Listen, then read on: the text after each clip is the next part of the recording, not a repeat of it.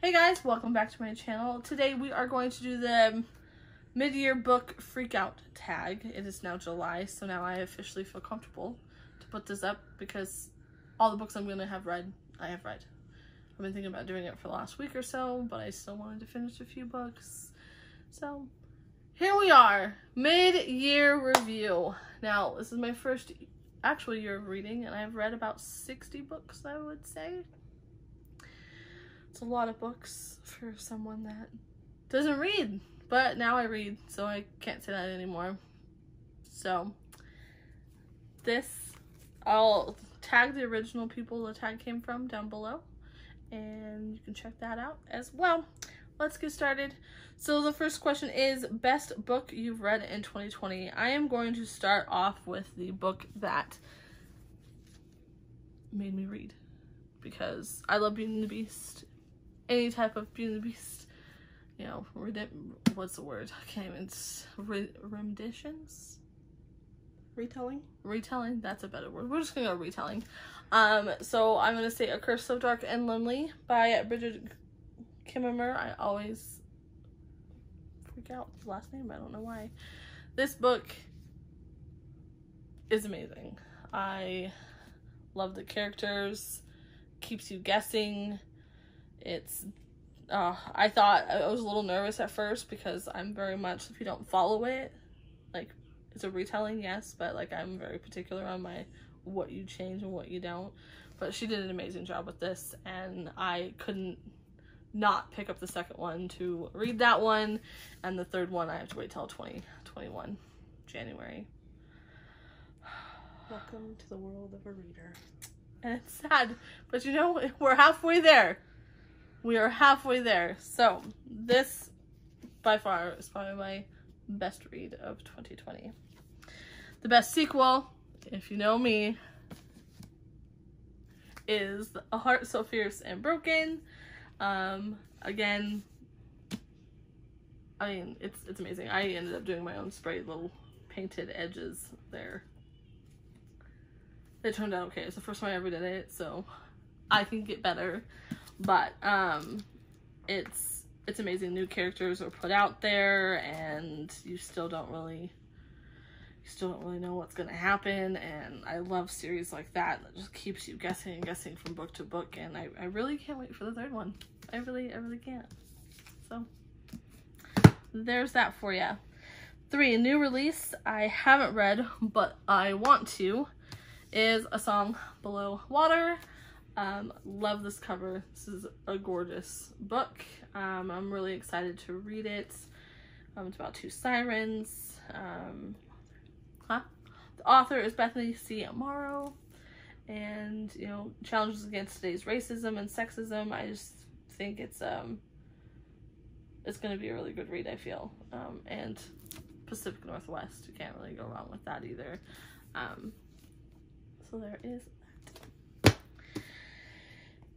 let's see. Most anticipated book for second year, second part of the year is going to be Crescent City. I've heard really good things about this. I do love Sarah J. Maas. Um, the Throne of Glass series, I love. Um, ACOTAR, of course. I'm still in the process of finishing that one. But I'm really excited to read this one. I've heard that people love it, especially after the first 200 pages. Um, but I'm really excited to dive right into that one. I'm hoping it'll be on my TBR in the next couple months.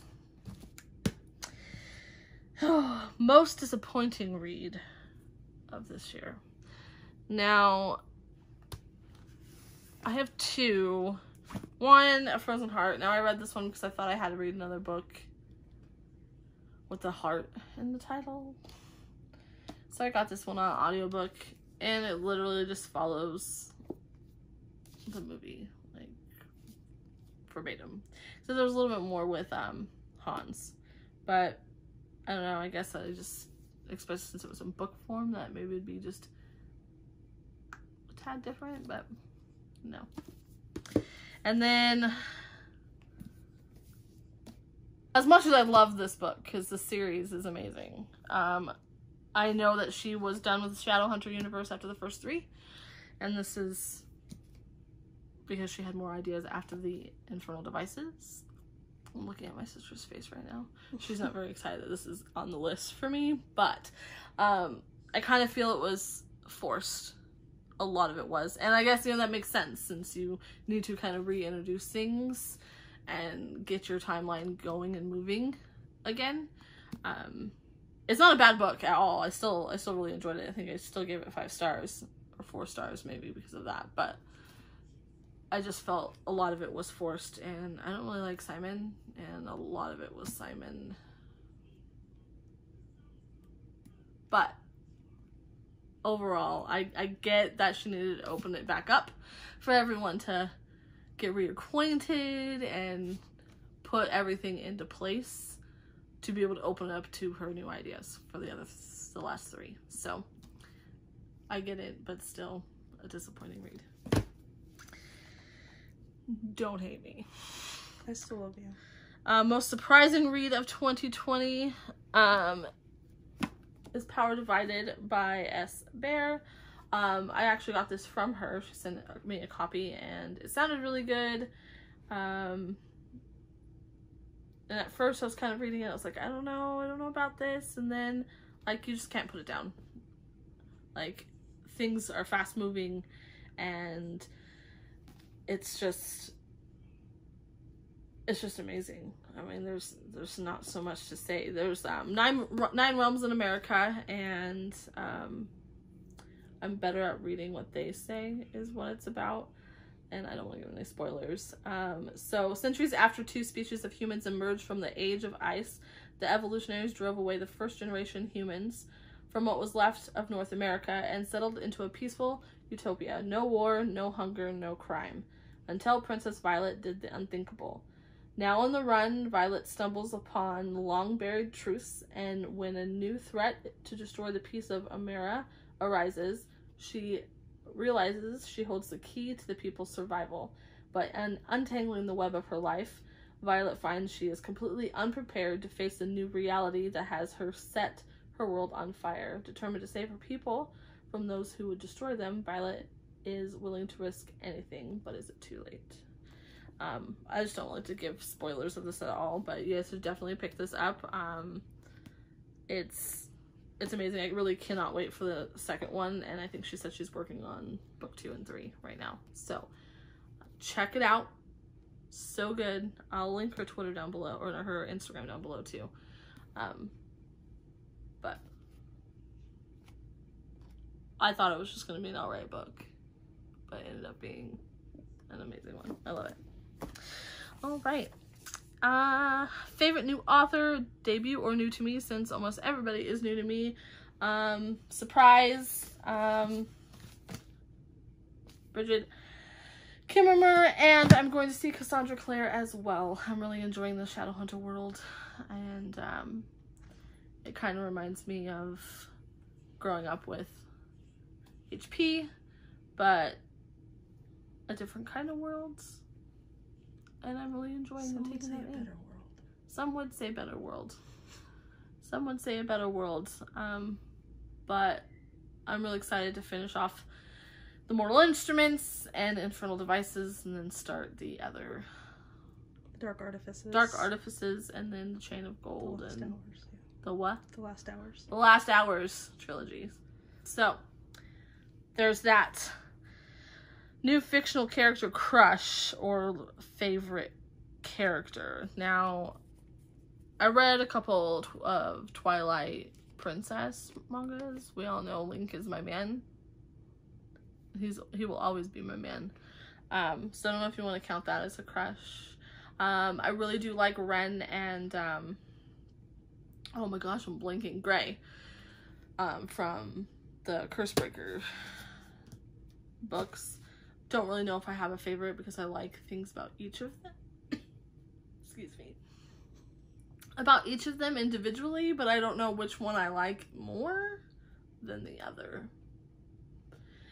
But my new favorite character is Malik. I count them as one because they are one and the same, and you can't go wrong with Malik. You really can. No. Like, Malik is like life. Malik is everything. Don't mess with Malik. Don't say anything about Malik. Precious babies. Malik is life. Book that made me cry. Going into that. I don't, it didn't necessarily make me cry. It gave me the feels towards the end of book five, City of Lost Souls. Spoiler alert if you haven't read it, you can skip ahead a little bit. Um, it just made me sad. I don't know whether to say the spoiler or not. If they read it, they might. They might. I might already know, probably. So it was just the feels. I really just want to read the last book to see, I Cannot. but I can't. I can't yet. But hopefully this month. All right, and then the most beautiful book you've bought or received. Now there's a lot of books because when I started reading, I want all the special edition type ones. So you got the Crooked Kingdom and Six of Crows. Um, Six of Crows is red, and then red sprayed edges. But I also really like the Girl and the Stars. I just love the cover and then the black sprayed edges.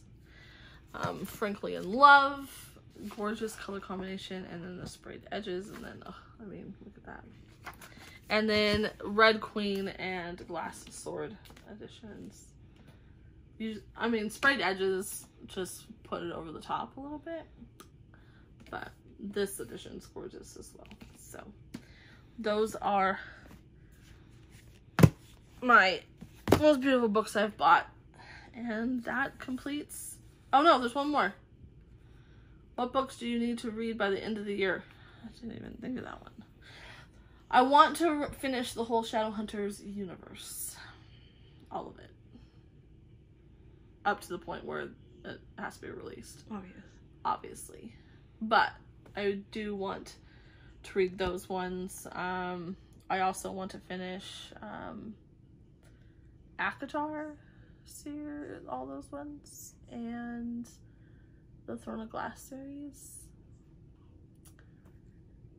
I think it's doable. For sure.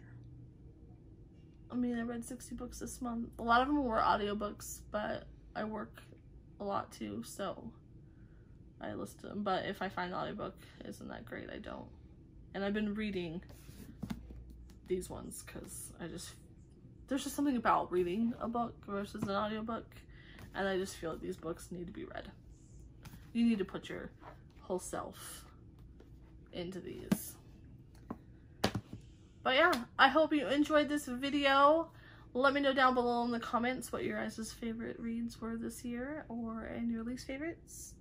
And if you also made one of these videos, go ahead and post a comment with your page and I can go check it out. Um, but yeah, I guess that concludes this video for today and we'll see you next time.